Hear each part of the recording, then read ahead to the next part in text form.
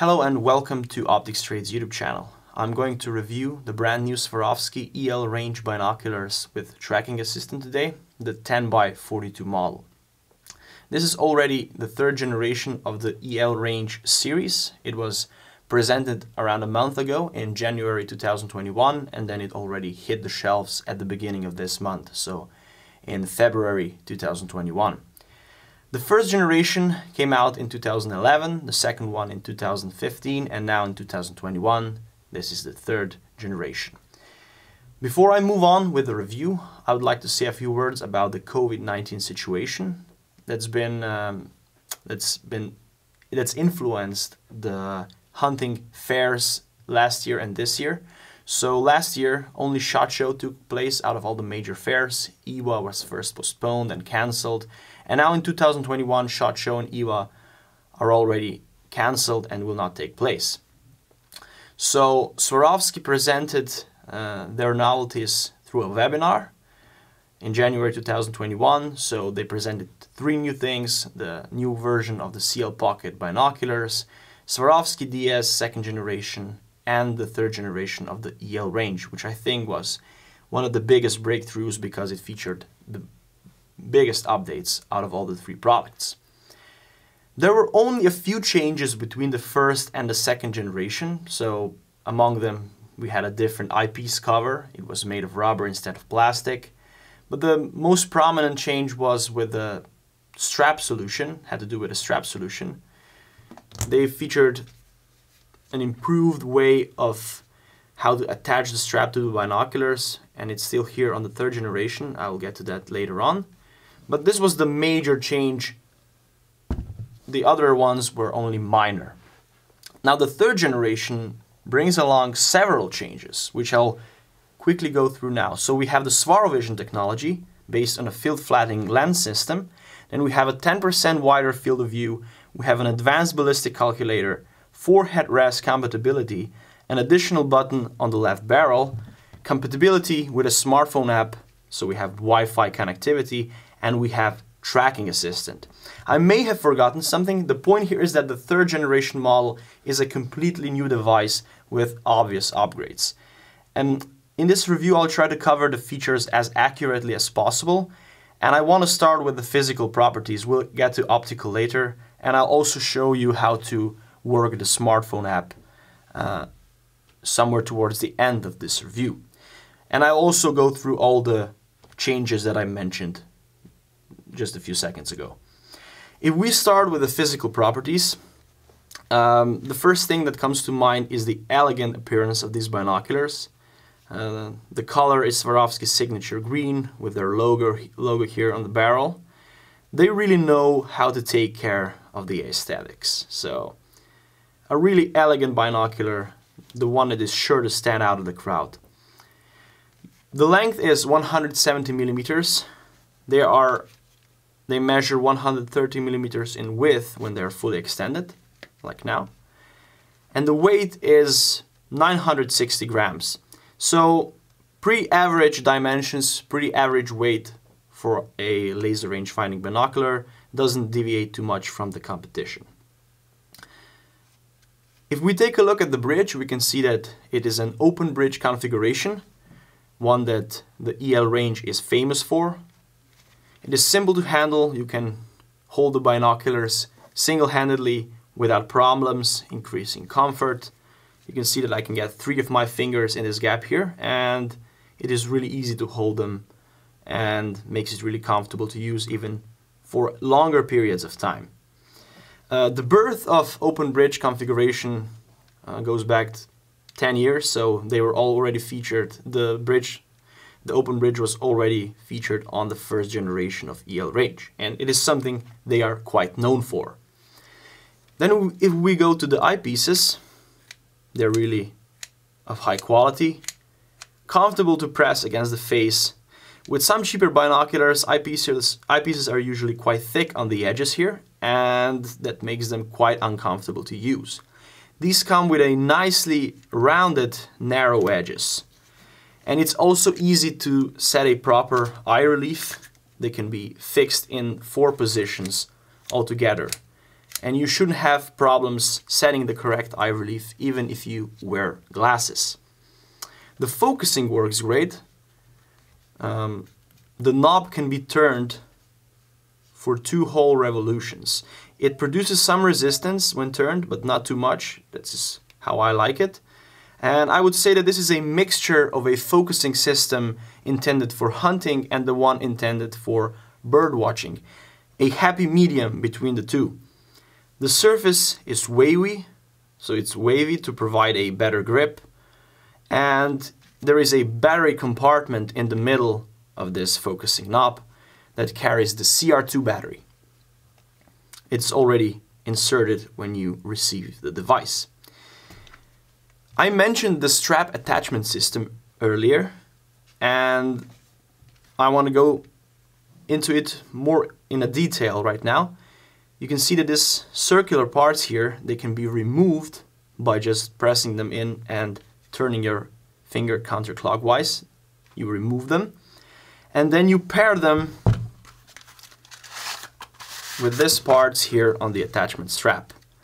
Um, this part here you have to remove and store somewhere while these ones on the outer part here they go in here and then you just simply press it in and you have the carrying strap attached without any hassle so it's really comfortable really easy to use and I would still say that this is one of the best and most simple solutions for a strap attachment in the market probably my favorite still there are bulbs at the bottom of the housing that house electronics.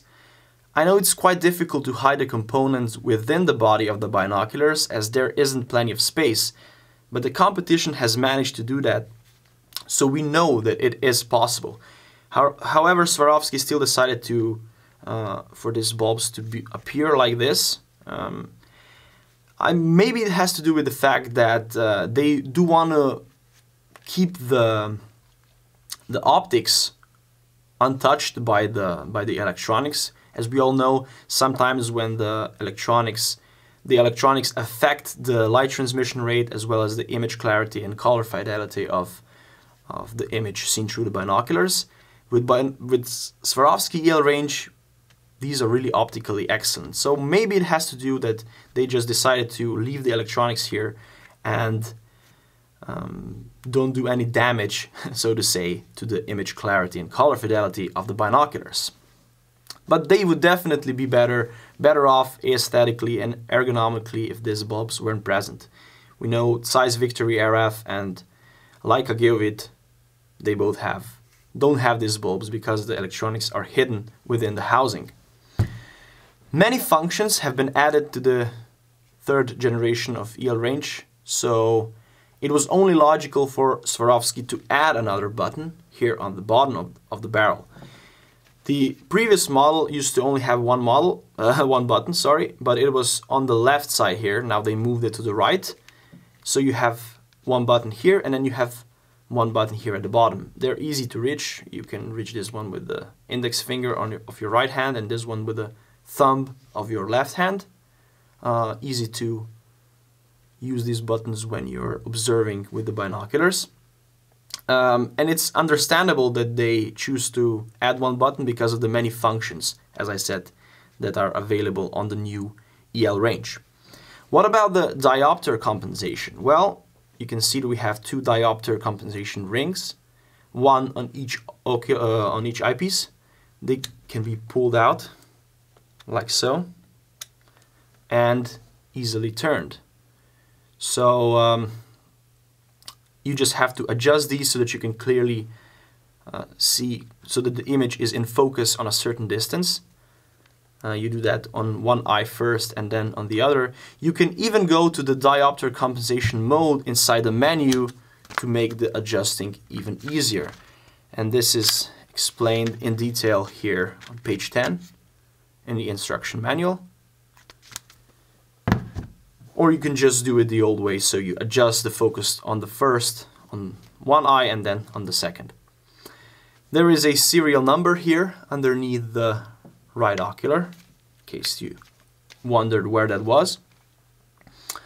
They feature a magnesium housing, they're fully waterproof, filled with nitrogen to prevent internal fogging at low temperatures, also completely fog proof.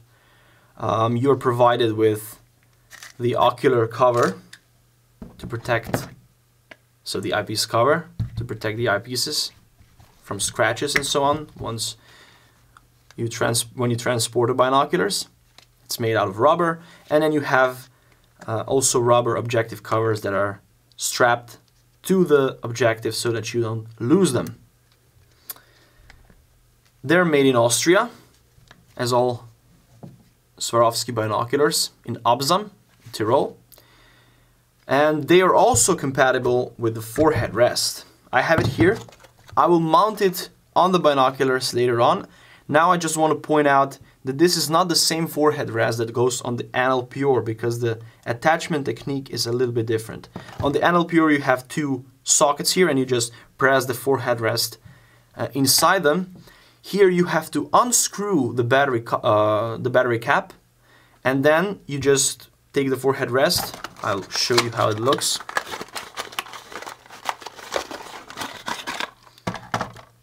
And then this part here acts as a battery cap and you just um, push this pin here inside the socket that is right here. So you have, again, two points of contact and they hold, the forehead rest holds the position well.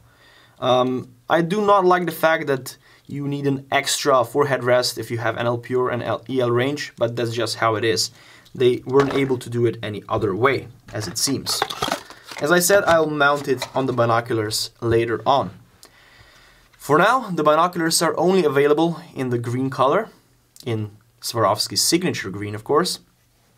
But this instruction manual here suggests that the orange color model might also become available in the future. We were told by Swarovski that they're still deciding whether to launch the orange model or not. I do have a feeling that they're going to launch it, but uh, later, maybe this year or next one. You get 10 years of warranty uh, on the binocular and 2 years of warranty on the electronics.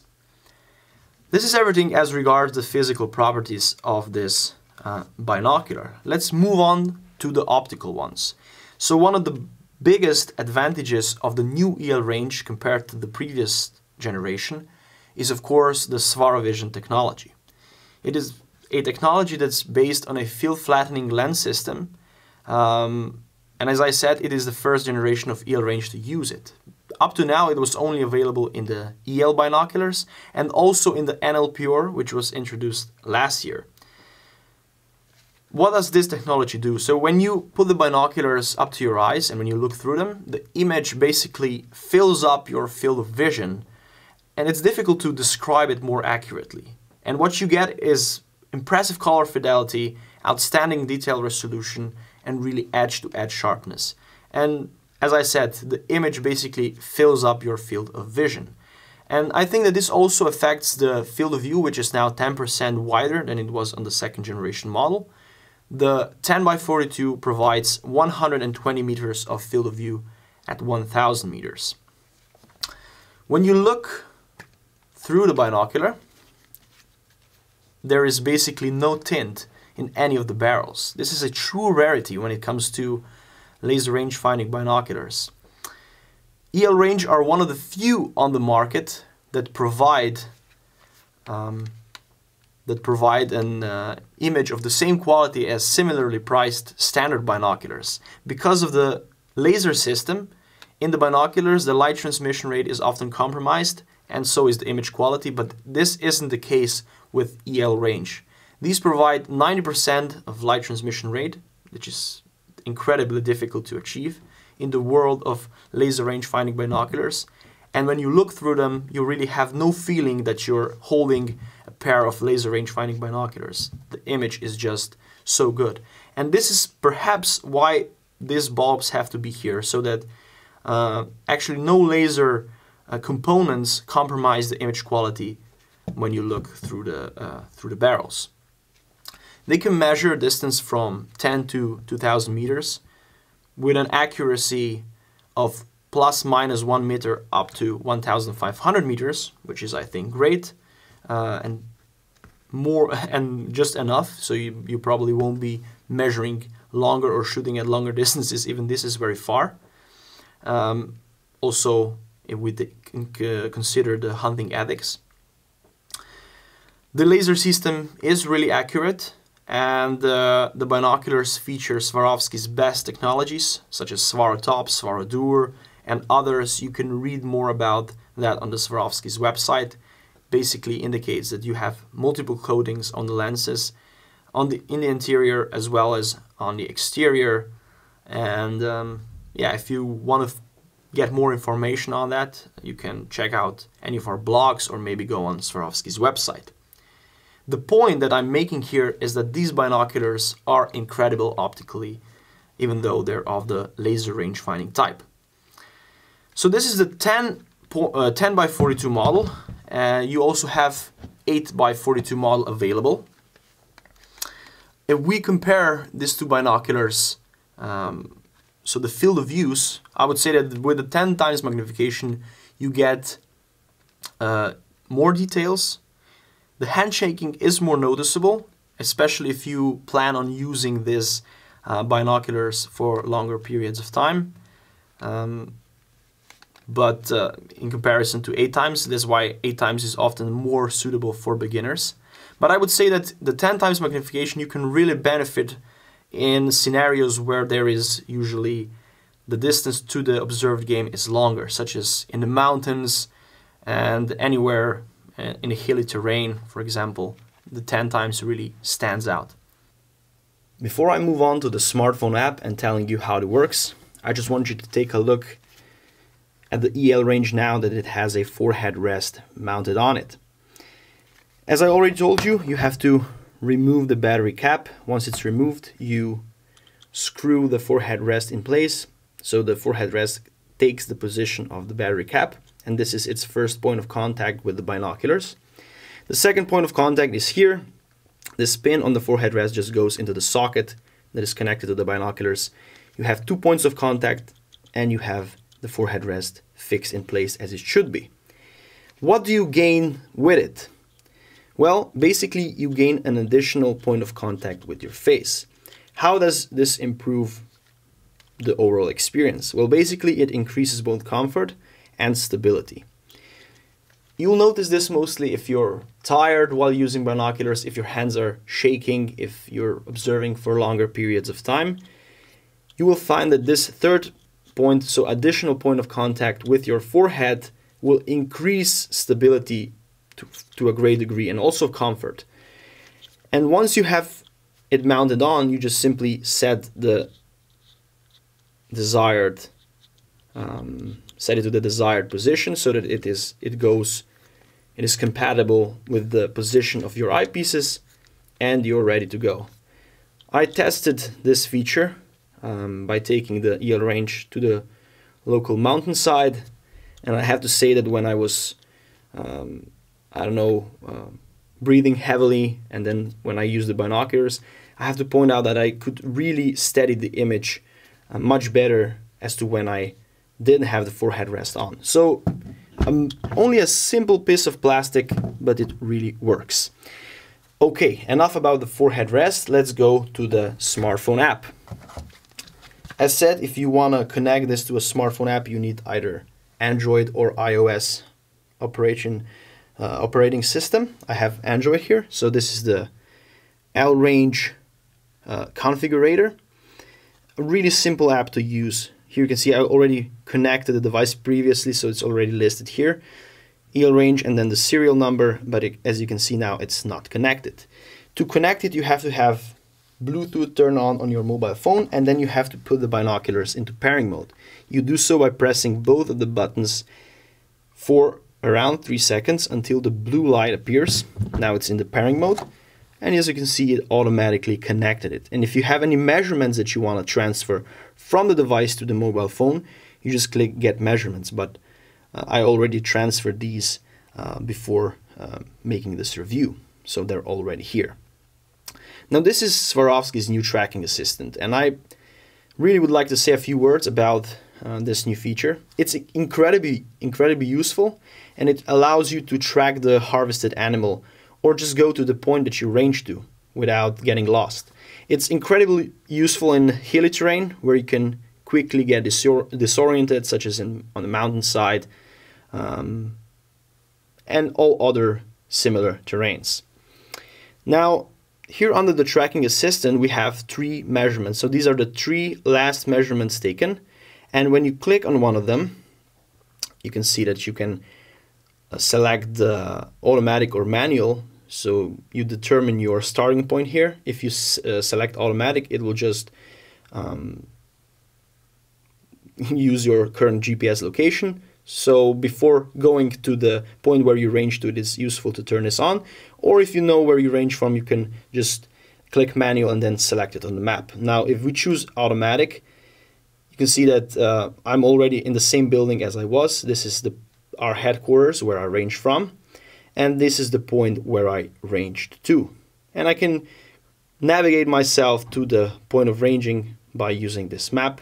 I have a second option. I have a cursor which points me in the right direction, also displays the distance underneath, and of course prevents me from getting lost and I will be um, and guides me to the direction that I have to go to get to the point of ranging uh, to the point where I range to to find the harvested animal, for example. Okay, so as you can see, we have many measurements here. They all work the same. I just used three different measurements so that you can see how this is displayed here. If you do not have a smartphone, do not worry because um, you can benefit from the tracking assistant app without having to use the smartphone. You just go into the menu by pressing this button for two seconds. You select one of the three latest measurements taken, turn on tracking, and you're ready to go. So if, I don't know, you want to know where to go, you just um, take the binoculars, measure back to the place where you started, and you will be given the directions on the display to the point you were ranging to. So it's really simple to use, and if you don't have if you don't have a, um, a smartphone, you can use the app this way, the feature. If we move on, the new EL range also features the the advanced ballistic calculator. You have three ballistic profiles where you can simply select your rifle scope. So you only have Swarovski rifle scopes here. If you do not use a Swarovski rifle scope, just choose one of these because you will be uh, able to choose that the holdover, uh, the correction is displayed in MOA or MRAD later on. But if you choose this if you do have any of these, just select them because you'll also be able to get clicks of, in terms of correction. You then choose sight height above bore, you choose your ammunition, I already selected one here. The conditions, so sea level and temperature, which also influence the the bullet drop, so the ballistic coefficient and everything. And then you have the zero range. This is the most recommended distance here, which you can also turn on so that the, app calculates it. Now, I already have two ballistic profiles set, so here I have certain other things. Here I can choose how the correction is displayed, either in MOA, MRAD, and all sorts of other things. Also, the equivalent horizontal range can be displayed. And it can even tell you the number of clicks needed for bullet drop correction if you have a Swarovski rifle scope that you can choose in the menu, which I showed you before. We have five brightness levels to choose from.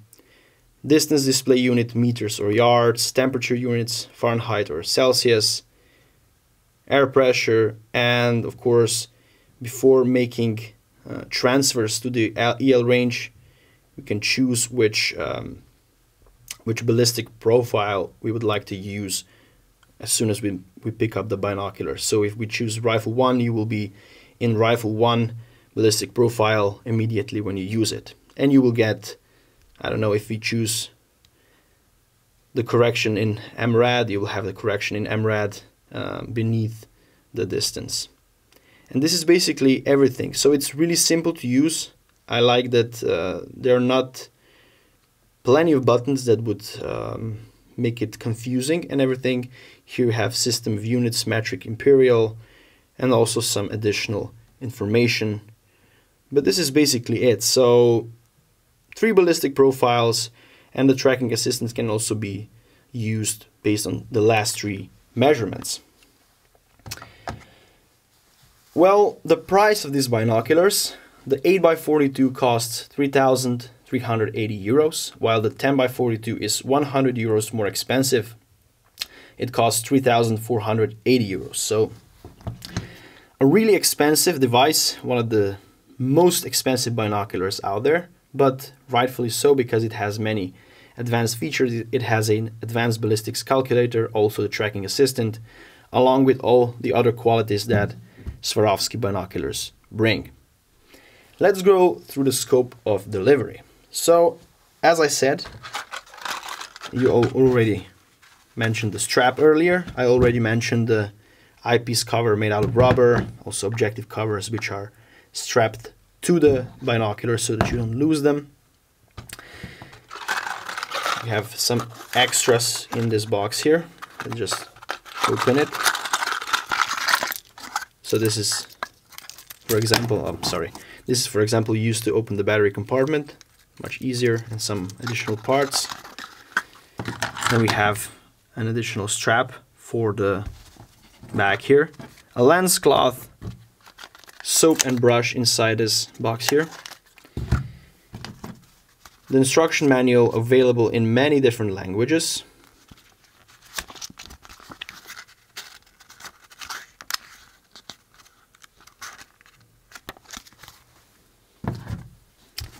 Have a bag used for transporting the binoculars around, soft on the inside with an additional um, pocket here that you can stash some extras so they don't touch the binocular and damage it. And this is basically it. The forehead rest that I have here is not included. You have to purchase it extra. It costs 129 euros. So not included, but a great accessory to have. Okay, so now I've pretty much am at the end of the review. I want to go through the good and the bad stuff as I usually do at the end of Optics Trade reviews. What I like is that these binoculars have an advanced ballistics calculator that we were eagerly waiting for as the competition, uh, as the competitive devices already have them for some time. But what's completely new is the tracking assistant, and I think this is what um, puts Swarovski, makes Swarovski stand out of the crowd because um, the competition hasn't come up with anything similar before. What I also like is the optical properties, SwaroVision, wide field of view, impressive color fidelity, edge-to-edge -edge sharpness. Uh, the image clarity is not compromised by the laser range finding system, which is great and really rare in this in this uh, world of laser range finding binoculars.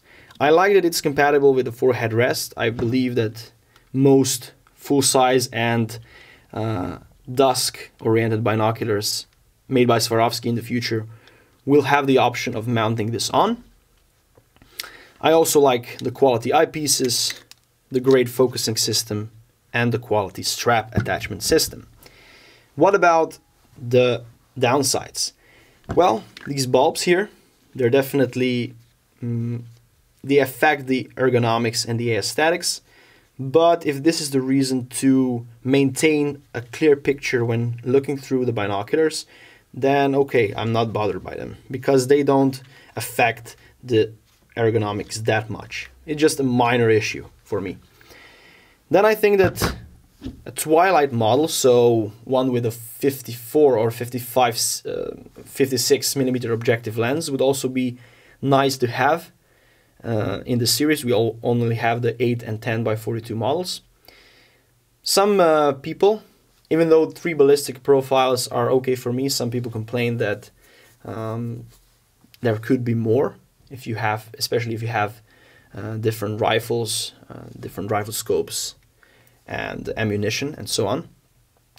And last but not least, the price. So this is currently the most expensive uh, laser range finding binoculars on the civilian market. They're more expensive than both uh, Leica, Geovid.com, and uh, Zeiss Victory Air, uh, RF, but they also come with a tracking assistant. They're, they're the newest, they have the SwaroVision technology, so the price can definitely be ju justified. But as far as the quality and all the other things are concerned, you should definitely uh, try these three binoculars side by side and decide for yourself which one is better as they're all exceptional. It's difficult to tell uh, which ones are the best. They all have their own qualities, they all have their own downsides. Well, with the new EL range, Swarovski has finally come up with an answer to Zeiss Victory RF and Leica Geovid.com models, and we are eager to see that happen. The EL range finally has compatibility with an app, it features an advanced ballistics calculator, the tracking assistant is a great addition, as I said, something we haven't seen before, incredibly useful to have, especially if you are hunting in the mountains. If you're looking for top-notch laser range finding binoculars that are great mechanically, optically, and have all the latest features, then EL range with tracking assistant is definitely the way to go. Thank you for watching this review. If you found it useful, leave a like, subscribe to our YouTube channel, check out our other videos on uh, optical devices on our YouTube channel, and see you next time. Take care, goodbye.